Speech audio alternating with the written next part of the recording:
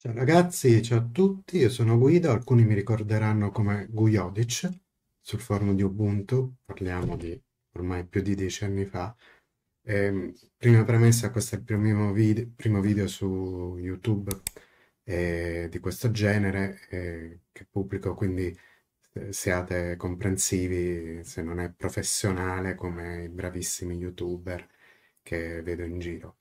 E in questi anni io ho continuato ad usare GNU Linux, perché Linux è solo il kernel. I had to resort to my Linux. Ma sono passato ormai dal 2016 circa a un'altra distribuzione, non più Ubuntu, ma Manjaro. E in questo video cercherò di spiegare perché l'ho fatto e perché forse magari potreste farlo anche voi, o potreste volerlo fare. E ci sono molti utenti che sono insoddisfatti di Ubuntu per vari motivi. Ehm, ad esempio, io ero insoddisfatto perché gli aggiornamenti del sistema delle applicazioni avvenivano ogni sei mesi, quindi mi ero creato un repository con molta fatica in cui mettevo le versioni aggiornate del- dei programmi che dovevo far compilare su Launchpad, e caricare ogni volta, eccetera, era un po' un casino. E, e poi molti utenti sanno che l'aggiornamento semestrale è eh, diciamo qualcosa di non banale, e può creare problemi, eh, qualcosa si può rompere e, e- di solito succede. Cosa ha fatto Ubuntu? Nelle ultime release, soprattutto questa, la 22.04, per ovviare questi problemi ha mm, sviluppato un sistema che si chiama Snap, praticamente questo- è- che è simile a un altro sistema sviluppato da Fedora che si chiama eh, Flatpak. E praticamente questo sistema cosa fa? Installa la nuova versione dell'applicazione con tutte le librerie e eh, quindi praticamente un'applicazione, non so, di 5 megabyte diventa di 100-200 megabyte perché dietro si porta tutte le librerie e quando viene caricata in memoria e mm, ovviamente occupa tutta quella memoria e ci mette molto tempo a caricarsi e le prestazioni diminuiscono e insomma non è così bello. Per me è una cagata pazzesca! fa abbastanza schifo. E- però esiste un altro modello eh, rispetto alla- eh, ai rilasci a tempo, diciamo, è quello della rolling release, che vuol dire praticamente il, un aggiornamento continuo delle- di tutti i programmi, di- sia quelli di sistema sia le applicazioni. Man mano che escono i programmi, vengono, le nuove versioni dei programmi vengono aggiornate. E la distribuzione rolling release per eccellenza, direi, è eh, Arch Linux, eh, però è troppo complicata da installare. Io ci ho capito un cazzo. E, quindi sono nate diverse derivate di Arch Linux che semplificano l'installazione del sistema e anche altri compiti. E la più famosa di queste è probabilmente Manjaro Linux. Ora, mangiare è una parola africana, forse eh, vi ricorda di Mangiaro, che appunto è in Africa, e come Ubuntu è una parola africana. E io credo non sia proprio una coincidenza, eh, perché come sapete Ubuntu è un'antica parola africana che vuol dire non sono riuscito ad installare Debian, e quindi Mangiaro probabilmente è un'antica parola africana che vuol dire non sono riuscito ad installare Arch. Ma andiamo a vedere come funziona Mangiaro Linux. E, premetto, io non reinstallo nulla, il mio sistema non l'ho reinstallato, è sempre quello dal 2016. Quindi sono sei anni che ho sulla mia macchina, anzi ho cambiato computer ma non ho reinstallato il sistema, ho semplicemente fatto una copia carbone della- delle partizioni e l'ho messa sul nuovo computer. E sono sei anni che il mio sistema operativo va lì, non ho mai reinstallato, è sempre in, con- in continuo aggiornamento e tutto funziona bene. Ecco, questo per dirvi l'affidabilità di Arch Linux e, di- e delle sue derivate come Manjaro. Ma eh, andiamo a vedere come funziona questo sistema operativo. Allora, eh, premesso, io ho KDE, eh, però Ma- Manjaro eh, viene con tre versioni. Eh, una è, quella principale, diciamo così, quella storicamente era eh, XFCE, eh, poi sono uscite quelle con GNOME e KDE e adesso è, GNOME e KDE sono ufficiali. Allora, come funziona il, il sistema dei pacchetti? Il gestore dei pacchetti non è apt come nel caso di Debian e derivate, ma è, eh, si chiama Pacman e possiamo intanto vediamo come mh, mm, funziona a livello di terminale. Molto semplice, una sintassi molto semplice. Per esempio, per installare tutto, eh, per diciamo, aggiornare i repository vedere se ci sono degli aggiornamenti, si fa sudo pacman meno s y y u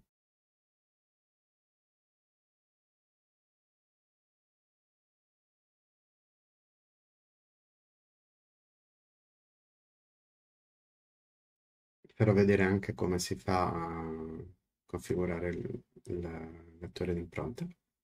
Vedete, e qui ci sono delle cose da aggiornare, io le, le aggiorno così tranquillamente. E questo c'è Google Chrome, guarda un po'. Google Chrome non è nei repository di Mangiaro, ma è in una cosa che adesso vi farò vedere, si chiama Aura.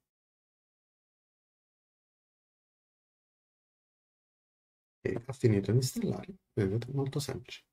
Eh, ovviamente esiste un gestore di pacchetti grafico e Mangiaro viene con questo qui che si chiama AMAC, e Pacman e PAC, sono fantasiosi.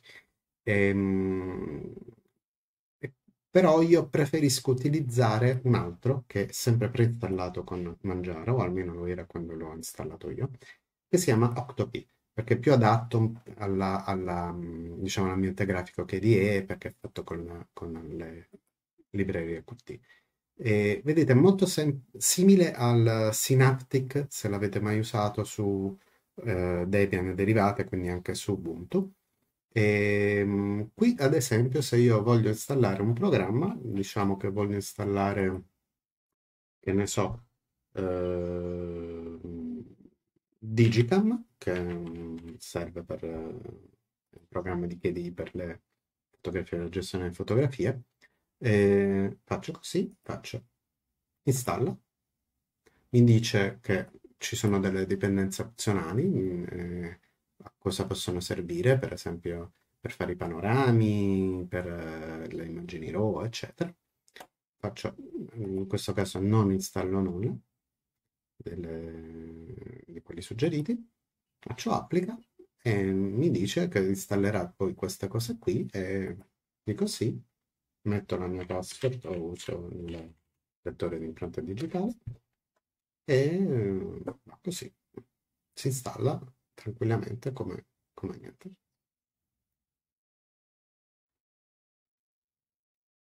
Perfetto. E poi me lo troverò. Dici. Perfetto. Adesso non mi interessa questa cosa qui, lo disinstallo. Quando lo disinstallo mi fa disinstallare anche quelle dipendenze che, che mi ha fatto installare. Quindi, ok, confermo, sì. È tutto pulito. Due cose importanti. Mangiaro non è identica ad Arch Linux perché ha un sistema, diciamo, di quarantena dei pacchetti, chiamiamola così. In pratica funziona in questo modo, adesso ve lo faccio vedere. In pratica tutti i pacchetti di, che arrivano da Arch Linux arrivano nel depository unstable di Mangiaro. Uh, dopodiché, questo viene fatto un aggiornamento uh, giornaliero. Dopodiché passano al repository testing di Mangiaro e solo dopo, quindi passano in genere due settimane, arrivano al ramo stabile di Mangiaro. Però è possibile utilizzare tranquillamente anche il ramo unstable, è semplicissimo passare da un, da un ramo all'altro.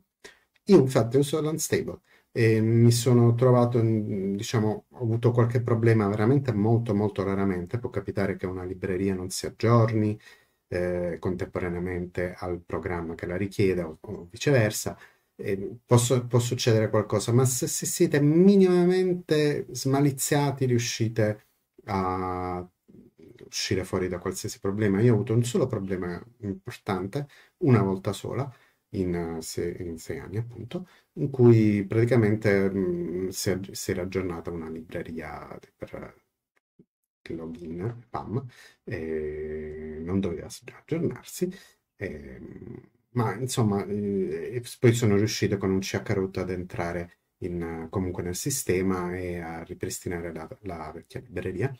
E, ma io penso che questo sul ramo stabile di Mangiaro probabilmente non mi sarebbe successo. Io perché uso l'unstable mi è successo ma ripeto in sei anni mi è successo una volta sola di trovarmi in una difficoltà relativamente grossa.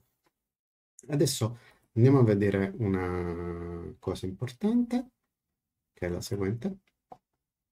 Eh, Auro Auro è un sistema eh, di pacchetti non precompilati ma da compilare.